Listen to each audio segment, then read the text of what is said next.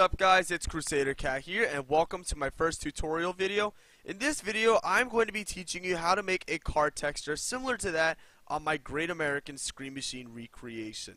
So, in basically this episode, I'm going to explain to you basically what a car texture is, how to make one, and then at the end of the video, you should be able to know how to make your very own car texture for your very special projects in No Limits 2. So anyway, let's get into this.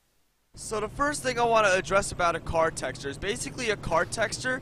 All a car texture really is, is it's basically a file on top of a train. Because basically all this car texture for my Scream Machine recreation is, all it is is just basically a file that I have from Google Images, and I just put it on the train to model. So what I might mean by this is actually it's a very simple process to do. And you can even do it with images from the internet as well. So we're going to go to our dummy coaster for the sake of review. And basically, let's say I wanted to make a train that has an American flag on it. Uh, there we go. And if we wanted to freeze it, we just put that image on top of the train's model, and now we have an American flag themed train. And in fact, the stripes actually match this really well as well.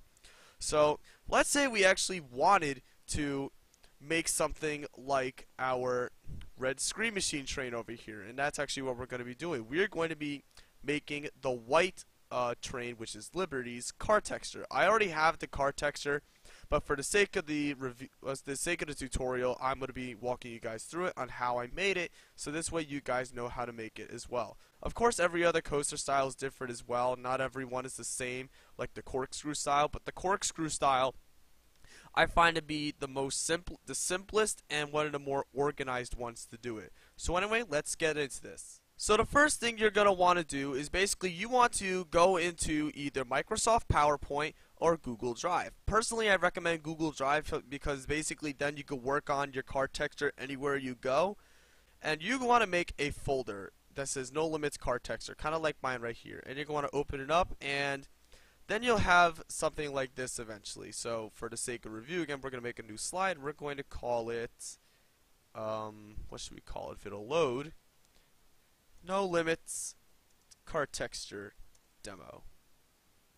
Alright, and let's just get rid of all this. And now what you're going to want to do is you're going to want to go into your files and you're going to want to search in your computer and you're going to go into program files and you're going to find no limits 2 car textures excuse me, um, and you're going to want to find the main car texture for the corkscrew coaster. We're going to do the front of the car, and what you're going to want to do is you're going to want to open it up. Now, what you don't want to do is you do not want to edit this file. Do not draw on it, because this is how No Limits programs the computer. Because if you edit the original file, you just screwed up the entire car texture for the ride itself. So instead what you're going to want to do is you're going to want to copy this. You're going to copy this so you have an image of it, and you're going to want to paste it in here. Then you're just going to enlarge it over here. Okay, so now you have a copy of the car texture as shown right here. I'm just using my scream machine thing over there. And now what you're going to want to do is you're going to want to take the, is you're going to take your shapes and you're going to want to trace over certain things that you want to that you want to take note of. So let's say we wanted to do one of the stripes. We're going to take a stripe like this and we're going to outline it. And you're also going to want to outline certain areas as well. Feel free to do certain areas that you want to outline as well for you to customize your train with. But for now, we're just going to focus on the train. We're going to focus on the nose of the train. We're going to focus we're going to focus on the nose of the train and we're also going to focus on the stripes. Okay, so now I just went ahead and I decided to cover all the parts that really mattered to me. The way you want to know which parts matter to you the most is you want to go to the actual train itself and you want to look at which parts match what you want to change. For the corkscrew coaster, the stripes are right over here, so you want to outline those, and you want to also outline the outer stripe as well, because this gray thing right here is where the out is where the outline of the stripe is on the train and then over here is the nose of the train. One thing I did forget to mention, you want to know where the No Limits logo is. So definitely take note of where the No Limits logo is. In fact, I may as well go outline that as well. Because that is the center of the train. That is where you want to put the logo of your coaster. There we go. And then once you're done outlining everything, delete the copied image. And now you have a template for your corkscrew coaster without deleting the original file of the car texture. So now basically you just created your own car texture in a way. And now you can just go ahead and now you can just pretty much fool around with it. The car texture is all yours now. You can customize it to the way you like it. And now you have your own car texture. So I'm going to go ahead and decorate this thing real quickly as according to the Scream Machine train. Alright, so now that you have your car texture finished, basically now what you want to do is you're going to want to take the file that you finished with your car texture, and then you're going to want to hit download and then go to JPEG image. Your image will now start downloading, and then you go to your coaster. We're just going to ignore the dummy coaster now.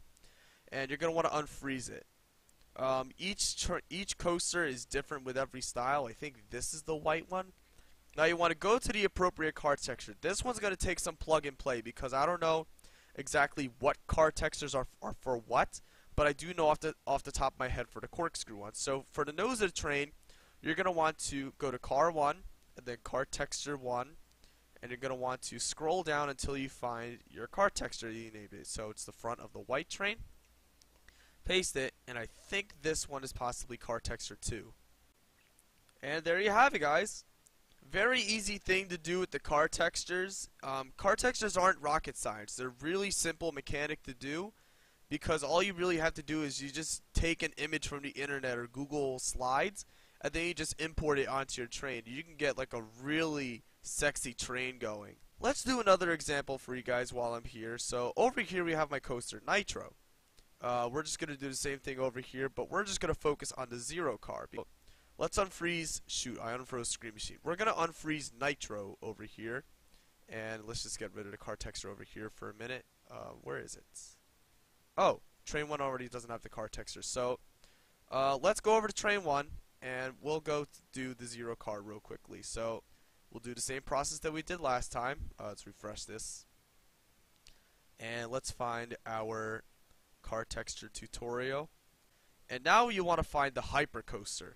So go into your computer, program files, no limits 2, car textures. Uh, let's see if I can find this one. Hyper four seat. And you want to find the one for the zero car. Right, copy and paste. Alright, so now we have our car texture for the hypercoaster and you want to outline where the uh, you want to outline where the the the front of the train is.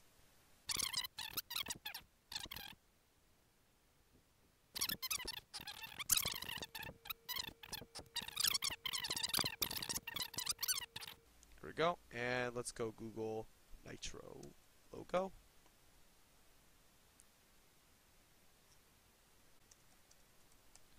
Got to be specific. And you can pull up a PDF of the Nitro logo, copy, and then you want to paste it. And let's just get rid of this car texture above here.